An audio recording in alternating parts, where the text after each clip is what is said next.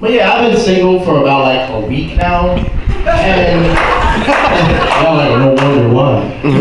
but yeah, it's just like I always hear like it's gonna be like amazing, you get all this freedom, it's gonna be the shit. It fucking sucks. It sucks getting possible pussy. possible pussy, not not guaranteed like like I used to have.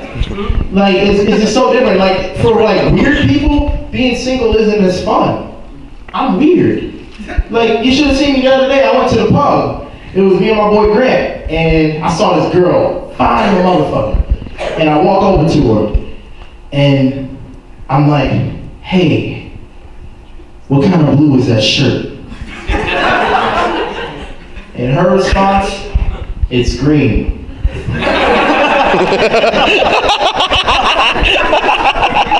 I went home and jacked off.